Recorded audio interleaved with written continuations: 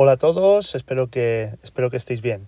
En el vídeo de hoy vamos a repasar los rebordes montañosos de la, meseta, es decir, todos aquellos relieves que la bordean y que por tanto la, rodean. Eh, nos vamos a referir fundamentalmente a cuatro, al macizo galaico, a la cordillera cantábrica, al sistema ibérico y a Sierra Morena. Tres de ellas, las tres primeras, tienen el mismo origen, es decir, eh, su formación, el proceso de formación tiene que ver con rejuvenecimientos de, eh, del zócalo mesteño, es decir, de, la, de, la, meseta, afloramientos que se desarrollan en la era, en la era terciaria, como veremos. Vamos a repasar eh, sus características siguiendo siempre el mismo orden, hablando de su proceso de formación, del material, de las características específicas y si existen secciones, pues las, las comentamos también. Vamos a ello. En primer lugar, hablaríamos del macizo galaico leonés. El proceso de formación de este relieve tiene que ver, como ya hemos comentado, con un rejuvenecimiento del zócalo mesteño a partir de la actividad tectónica que se desarrolla en la, en la, era, en la era terciaria. Recordad que es una etapa de un fuerte dinamismo tectónico. Este proceso de rejuvenecimiento provoca el afloramiento de cimas muy redondeadas eh, formadas por materiales paleozoicos, eh, es decir, materiales duros, pizarras, cuarcitas y neis. Es una zona donde abundan las fallas y por lo tanto el relieve que se desarrolla es un relieve de estructura de tipo germánica con eh, bloques que se levantan alternados con bloques que se hunden, los llamados Horst y Graben. Estas serían las características fundamentales del macizo galaico. Como ya os he dicho en clase, podéis mencionar el nombre de alguna sierra para enriquecer el comentario de este, este relieve, pudiendo hacer referencia, por ejemplo, la más importante de todas es la sierra de, Segundera. Eh, a continuación, veríamos el siguiente reborde, que es la cordillera cantábrica. En este caso, el origen es exactamente el mismo que el macizo galaico, de hecho es, el mismo afloramiento de, rejuvenecimiento del zócalo, exactamente el mismo, pero aquí sí que vamos a distinguir dos sectores. Eh, ¿Cuál es el origen del macizo, del llamado macizo asturiano? Rejuvenecimiento del zócalo.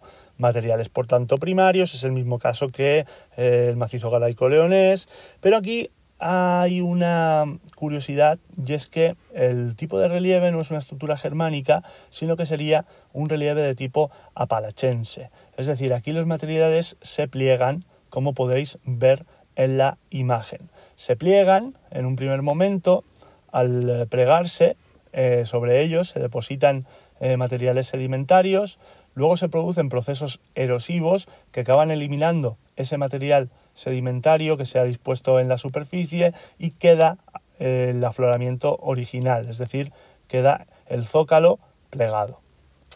Esa es la estructura característica de esta zona, de la zona del macizo asturiano.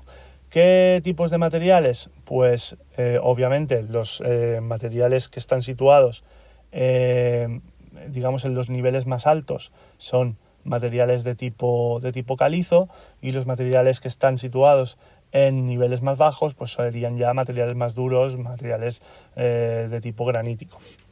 En la cordillera cantábrica, en cambio, el relieve que, el relieve que predomina es eh, el llamado relieve jurásico. Eh, y con esto ya tendríamos claros cuáles son los principales tipos de relieve que se configuran. El relieve de las estructuras, quiero decir, la estructura germánica, la estructura apalachense y la estructura eh, jurásica.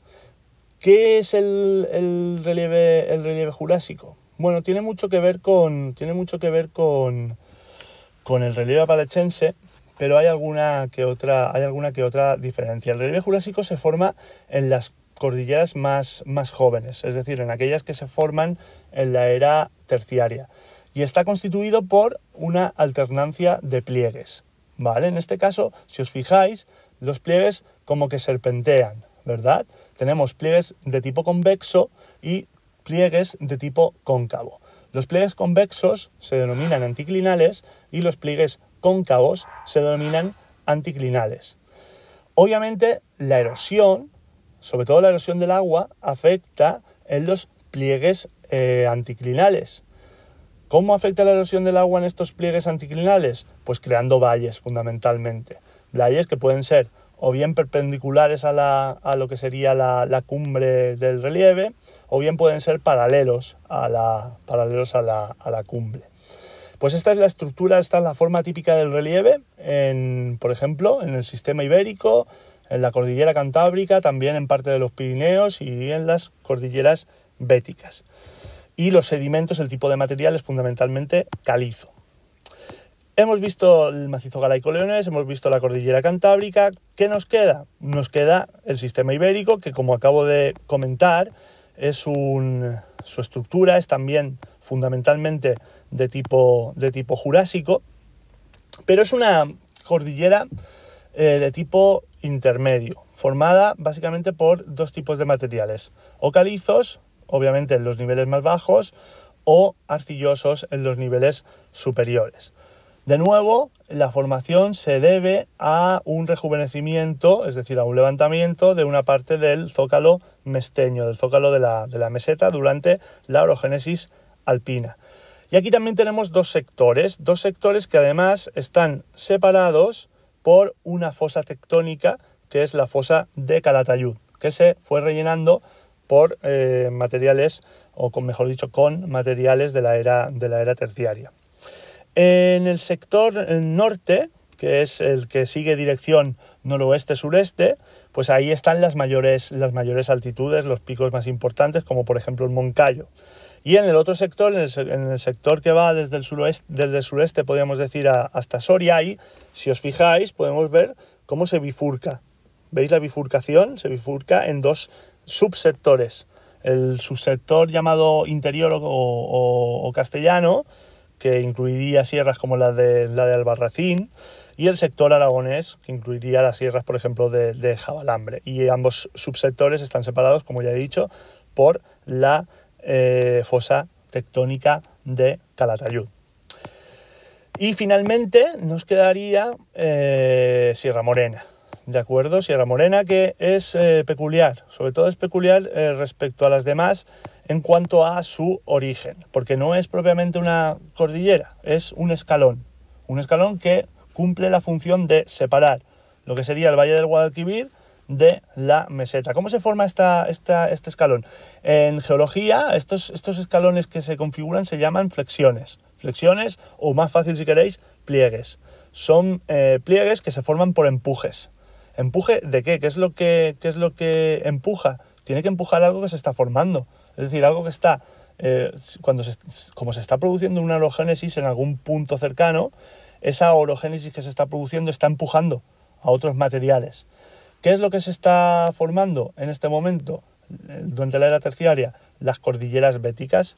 Al formarse este proceso orogénico de desarrollo de las, de las, de las cordilleras béticas, esto genera un empuje que arrastra materiales hasta el zócalo de la meseta y ahí es cuando se forma la flexión, cuando se forma el pliegue. Materiales paleozoicos primarios muy, muy, muy, muy oscuros. Son tan oscuros que eh, dan lugar a una vegetación muy característica que es la, la, jara. Y sierras, pues madrones, pedroches, si queréis a la cena. Básicamente esto sería.